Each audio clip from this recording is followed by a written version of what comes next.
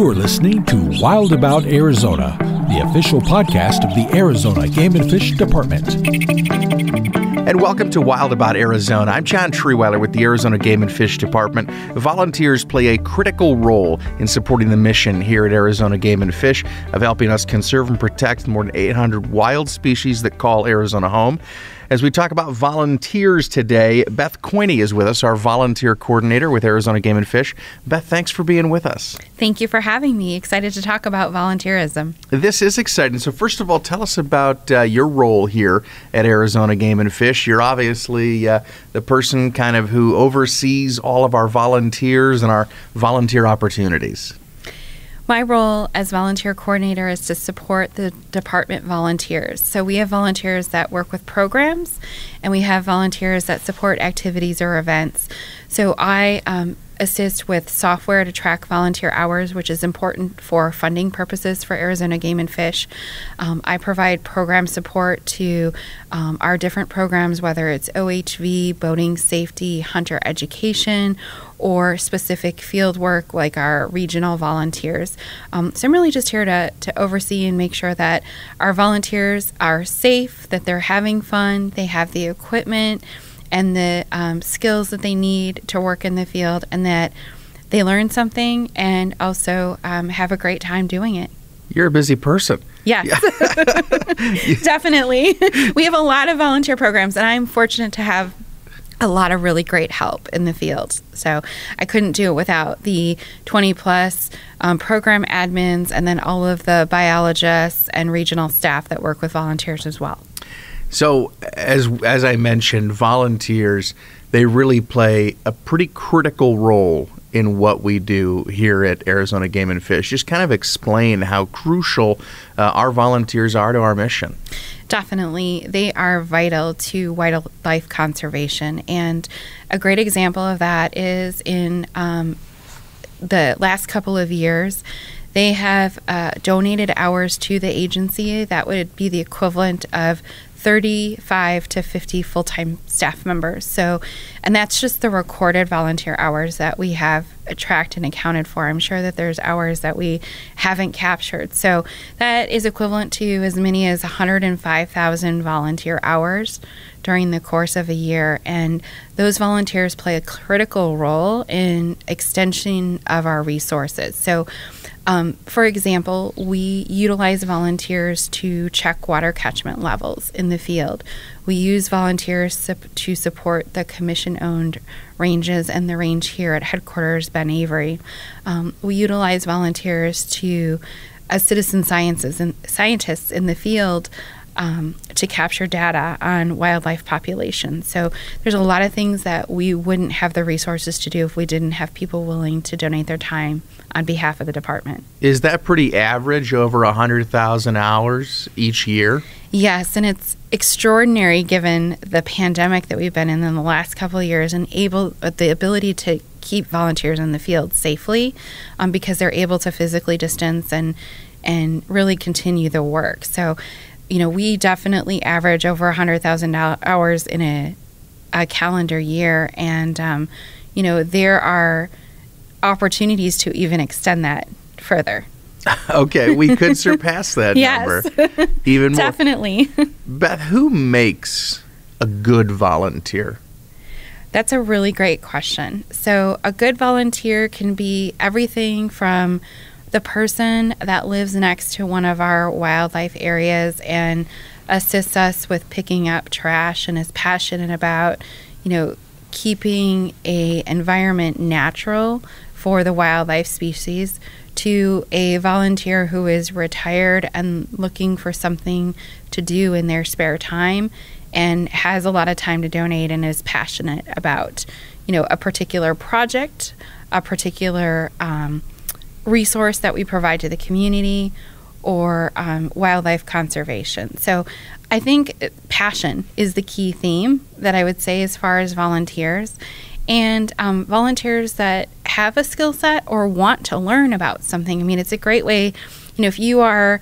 Uh, you have a, a desk job during a day, but you really want to get outside in your free time, there's definitely an opportunity for just about everybody. Um, the other thing is youth youth opportunities are extensive. So, you know, if we um, we work with students, uh, scouts, uh, organizations that want to learn about wildlife conservation. So there's a volunteer and learning opportunity that go hand in hand. And when it comes to like training or experience, what type of a, I mean, do they have to have any type of background in wildlife education or conservation or any type of experience in that? Or if they do, that's great. If they don't, that's no problem. How's that work? There are a wide range of opportunities. so you can come to us and say, I'm really interested in volunteering and I don't know what I want to do or if I have the skills to do it. And then we also, you know, on the other end of the spectrum have former employees, um, former employees of partner organizations like U.S. Fish and Wildlife Service or one of the federal land managers that have a lot of experience in the field and want to continue working after they're they've retired. So there's a broad spectrum. Um, one thing I will say is that the department offers training to volunteers that is the same training we train our employees with. So, you know, if you're looking to learn a skill, whether it's learning to, you know, drive a vehicle safely um, off highway or if you want to learn, uh, you know, about how to check and repair water catchments. There's a, a wide variety of training available for the volunteers. So when I retire, I can keep the podcast as a volunteer. You could, yes. I'm sure we can make arrangements for that. Thanks, Beth. Thanks for keeping me around. Um, talk about. I know you've kind of already touched on some of the different projects that that uh, volunteers do out there. But there's, I mean, from the water catchments and some of our commission owned properties, but there is really a long list of the various projects that volunteers work on. Can you maybe highlight some of those projects for us? Definitely. There is a wide variety of opportunities. And, you know, some of the volunteer opportunities are one day events. So, um, Keep Our Deserts Clean just was a partner in a cleanup um, event out at Robbins Butte. We have uh, the city of Avondale and the partners that are engaged with the um, Base Meridian Tres Rios Wildlife Area, and there's a cleanups that happen there regularly. So those are you know one day events that individuals can engage in. Um, we also have some um, ongoing projects like our Adopt a Ranch project, where we will help private or public landowners with fencing issues. Um, so we might be uh, re- removing old fencing, which is potentially harmful to wildlife or doesn't allow wild- wildlife to pass through corridors, to adding wildlife appropriate fencing to certain areas, which helps keeps OHV vehicles out, but allows wildlife to safely pass under or over the fencing. Um, water catchments, we have a lot of interest in our Water for Wildlife and Send Water programs. And we do have many volunteers that support those programs. Um, the volunteer opportunities there are things like taking your OHV out to check a water catchment level. Um, and then some of our volunteers go through a more extensive training process where they become four wheel drive certified and they're trained to haul water into the field. So they have, you know, 500 gallon trailers on the back of a truck and um, they know how to fill those trailers and how to safely um, get out to those water catchments. So those are just some of the opportunities. Uh, I would also be remiss if I didn't mention our extensive education programs.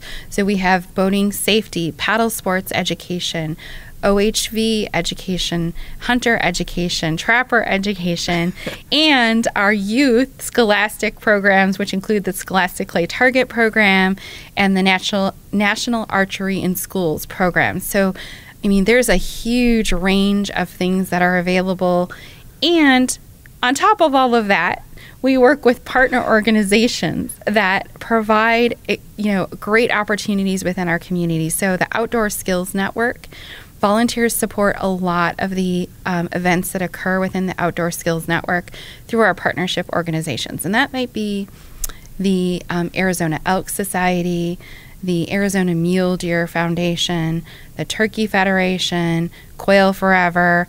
Um, one of the nonprofit partners that operates um, the commission ranges uh, throughout the state. So the list is can go on and on and on and on. yeah, it's a lengthy list. It is a lengthy list, yes. And I know that our partnership organizations, like you mentioned, they're also really critical in helping us with our volunteer opportunities and just with the overall mission of Game and Fish. Yes, they play a key role. And, you know, we couldn't do it without the engagement of those partner organizations. And, you know, we have um, some a wide variety of partners. For example, um, the Audubon has a uh, Christmas bird count, which occurs every year, and that is coming up here in December and January. And you know the information, the scientific data that's obtained from that, and that's been going on for many, many years, is valuable to the department and wildlife conservation. And it's those kinds of opportunities that really you know, are things that we couldn't accomplish on our own. Well, and I was just going to ask that that the volunteers they add a lot of value to mm-hmm. what we do here, and not just value in the sense of kind of a monetary word, which we already talked mm-hmm. about, but value as in helping us get work done that we otherwise really wouldn't be able to do. Right. A great example of that is um, uh, the volunteers that support our regional offices. So we have our wildlife managers that are out in the field, and you know they have equipment that breaks. Um, they might have a need to have some, get to get something to a field quickly to help with a project. Um, and volunteers you know, they are there as a resource for those regional staff members. So they provide a wide range of support. Um, sometimes it's transporting a tortoise that maybe um, was found on the side of the road in Yuma and needs to make it here to headquarters to our tortoise adoption program. Um, sometimes it is, you know, helping make sure a vehicle gets to a project site. There's many things that volunteers do to extend those resources that make it easier for employees to um, fulfill their job duties. It kind of, I mean, it sounds like there's really kind of an opportunity or a, a, program for just about anyone that wants to volunteer, whether you like maybe helping out with construction, doing some fencing, whether you like OHV riding, you can drive out and check catchments for us. I mean, really sounds like there's opportunity no matter where you go. Right, and we haven't even talked about some of the opportunities like uh, volunteers who assist with uh, habitat builds. So, you know, we're uh, coming up on the holiday season here, and you have these beautiful trees that are in your home, and then they leave your home, and what do you do with them? Well, a great way to recycle them is to build fish habitats with our um, aquatic staff. And so they will actually take those trees and um, place them strategically within the lakes, at the bottom of lakes, so that they become a home uh, for fish. So there are just so many great things you could do. You could also assist at one of our hatcheries as, you know, providing support with construction and maintenance and um, cleaning fish runs and, and doing all kinds of different things. So um, and I also I want to make sure that I mention to you that we are looking to the future of wildlife conservation and our volunteer opportunities as well. So we have university liaisons at a- ASU, NAU, U of A, and other universities throughout the state who work with the future biologists um, and wildlife rangers, uh, supporting you know their educational process by providing volunteer opportunities to higher education students as well. And and going back to the, the Christmas trees, which we yes. were talking about, because that's a really cool program that a lot of people I don't think know that we do, and it's you know something so neat, um, especially you know after you know you're done with your Christmas tree, instead of just taking it to the curb or or whatever, you know, donate it to the department, and then we take those trees and use it to build fish habitat. That's so cool that people probably don't realize that even happens here. Yeah, I mean, that's just a great recycling opportunity and it's a great wildlife conservation opportunity. And the best part about that particular opportunity, in addition to how it impacts wildlife, is that it's a family event. So any age is welcome to join us on that volunteer opportunity. And, you know, that's really important is that we're looking you know, to engage our entire community. So everybody from youth who maybe are, you know, learning a new skill or learning about wildlife conservation. Um, to somebody who maybe has experience or a lot of time and wants to almost have a second career or learn a different skill set from what they did on a, day to day basis in their, their career before they retired. So we uh, we can have grandma and you know grandchildren at the same volunteer event. well, okay, so come uh, you know come December, come Christmas time, whenever you may be listening to this, um, you know think about that. Your your your Christmas tree could become uh, habitat for fish. Yes, definitely. Everybody could be involved. Um, so speaking of getting involved, Beth, if someone is out there listening and says, "Wow, that sounds really cool," that sounds like something I might be interested in. Mm-hmm. That sounds like something, you know, a friend of mine might be interested in. What is the best way for somebody to get involved, get engaged with volunteering with us? That's a great question. So, there's a couple of different ways that a volunteer can engage with the department. Um, the first is to go to volunteer.azgfd.gov or just go to our website and look for the volunteer link. And that'll take you to a software tool that we have where our biologists and wildlife managers and program managers um, have their upcoming volunteer opportunities. So that's one easy way. It's accessible on your mobile device or from a desktop computer. Um, if you're not tech savvy but you want to send an email to us, you can email volunteer at azgfd.gov and we'll get you in touch with a staff member if you share, you know, what you're looking for or if you're just say, "Hey, I Saturday's free and I want to volunteer. What are my opportunities available?" And then you can also engage with our staff members in the field. So stopping by a regional office, um, when they're you know have office hours or uh, coming to one of our ranges and expressing interest to volunteer uh, you know, if you happen to see uh, one of our volunteers in the field working on a project, ask them about it and about their experience. So, those are some of the, the best ways to get in contact with us. Well, and I've been to our site, our volunteer site, and it's pretty cool. I mean, it's pretty nice. I mean, and it, I, I, I'm impressed by it, right? Thanks. And it, it, well, and it's, I think it's cool too because say you're a busy person who, mm-hmm. you know, you have a lot going on, but okay, I've got a couple days free this month. I want to do something want to give back to my community, give back to my state, you can actually go on the calendar there and right look at a certain day and it'll tell you the opportunities that day correct? yes you definitely can do it. That's a great way to search or you can go to the opportunities which are highlighted on the left side of the page and then use the search function to search for whatever you're interested in. So if you want to be if you want to know what's going on in region 4 in yuma or region 3 in kingman you can search that way. And um, you can also search by a specific term. So let's say you want to work with fish, then you can just search by the fish opportunity. And you can become a fan of a program, much like um, you can, you know, like something on social media. If you become a fan of a program, as new opportunities are posted, you'll get emails to let you know that there's new opportunities available.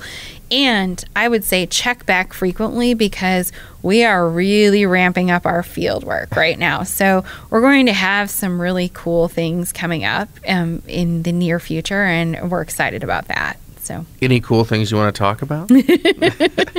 Definitely. Well, one thing I will say is that, um, you know, our adopt a ranch work is really taking off. And so um, we have a staff member, Troy, who heads up that program. We also have some fence removal projects that will be coming up. Um, the sky is really the limit. Like, we're really going to um, you know, have more things that are posted out there. I would say in the next three to six months, um, as you know, we're we're working through some of the challenges associated with the pandemic. We're really happy to be able to engage volunteers back in the field. So, kind of, you know, springtime, early summertime, things are really going to start to pick up a little bit more. Definitely. Yep. Um, and I know you kind of mentioned it there with, you know, whether you're in Yuma or Flagstaff. I mean, these are opportunities that are all over the state of Arizona. So it's not just, you know, happening in the Phoenix metro area. You know, whether you live in Phoenix or you live in Yuma or you live in Prescott Valley, wherever you may live, uh, there's probably something close to you. So if you want to travel, you can. But if you want to stay close to home, uh, that's an opportunity for you as well. Definitely. I mean, it's a great way to have a volunteer vacation. You know, look at what's going on. Um, you know, if you want to engage in teaching paddle sports classes, we have opportunities up at Lake Havasu, opportunities in Prescott, and opportunities here at Lake Pleasant or other area lakes. So, you know, if you are interested in sharing a specific skill, that's a really great way to get around and, you know, experience different parts of the state. Same thing with hunter education, or maybe um, you're part of a specific project that one of our biologists is leading, or or you really love the Adopt a Ranch program, or um, are passionate about a specific thing. You can you know kind of highlight that type of volunteer opportunity and then travel the state. And it's neat because you get to learn about places that you maybe don't have a lot of knowledge of or wouldn't otherwise go to necessarily. Well, especially if you're new to Arizona, mm-hmm. right? Maybe you've moved here uh, for a for a new career, but you know, from where you're coming from, you have a background in uh, paddle sports or water education, or maybe you've retired here now to Arizona. And th- like you said, it's a great way to get involved and use your previous talent and maybe put it to work now for helping out people here.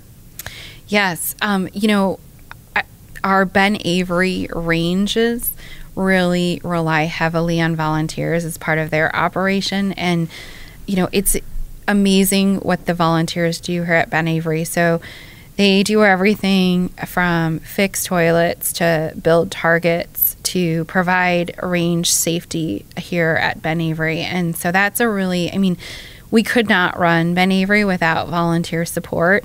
And we have volunteers that live on site six months out of the year. We have volunteers that live on site year round. We have volunteers that come in and help support programs like Home on the Range, um, where there's opportunities for families, youth, women, different groups to learn about shooting sports. Um, so, you know, that's a great example of you know, there's we have a wide range of opportunities, and that's something that happens here in Phoenix. But then a lot of those volunteers will go out and engage in other projects throughout the state or teach, you know, shooting safety in other ranges throughout the state.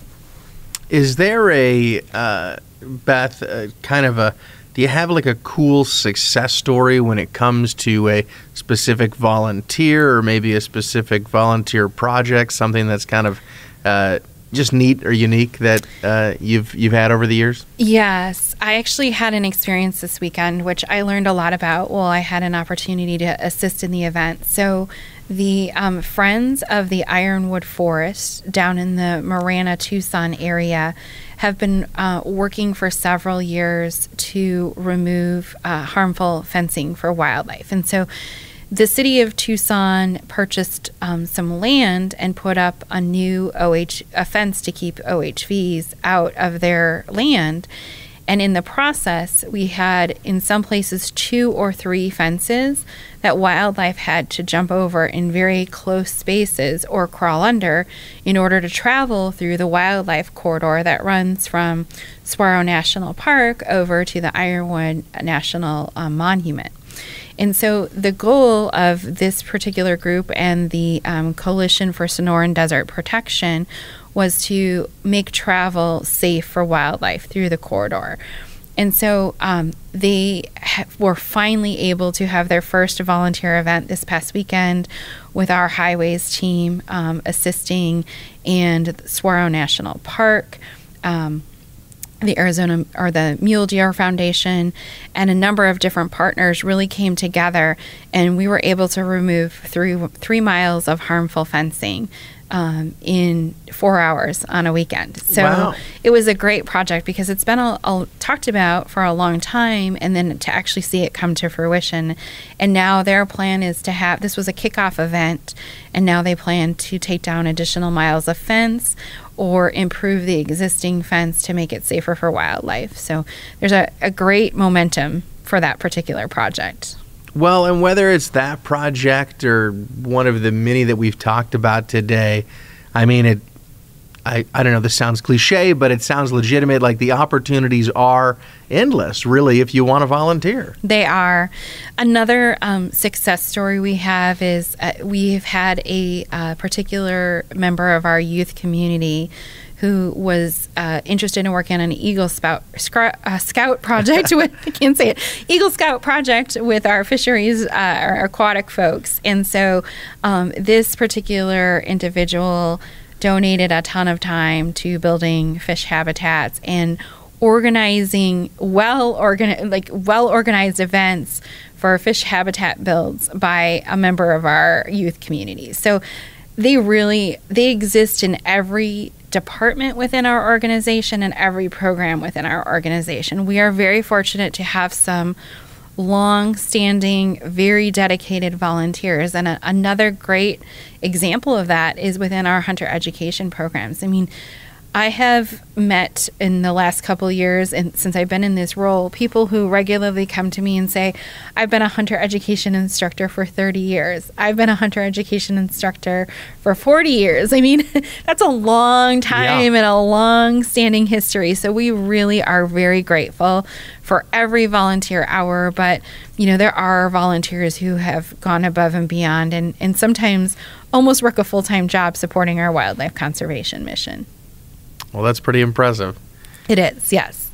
Um, is there anything we've missed today, Beth? We've talked about a lot, but anything we didn't touch on that we should have? I think that the one final thought I would like to share is that it's not just about the resources in the field and the volunteers. So many of our um, fund a lot of our funding comes from federal grants so we you know we don't receive uh, funds from the state. So we're reliant on on different types of income. And one of those is the federal grant programs. And so we need volunteers and community engagement to support those federal grant programs in the form of in-kind match.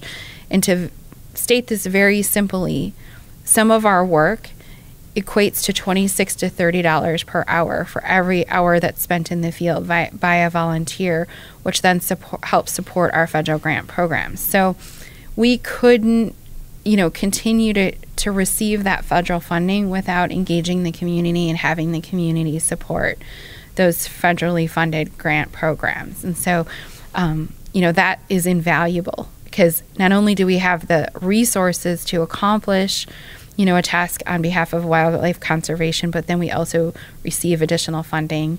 And it's not just federal grant programs, there's other state grant programs and um, nonprofit organizations that, you know, require volunteer engagement in order to receive those funds. So over the years, you know, it, that's been an extremely critical component of the volunteer program. So thank you to everybody that's donated time because that makes you know, makes wildlife conservation possible.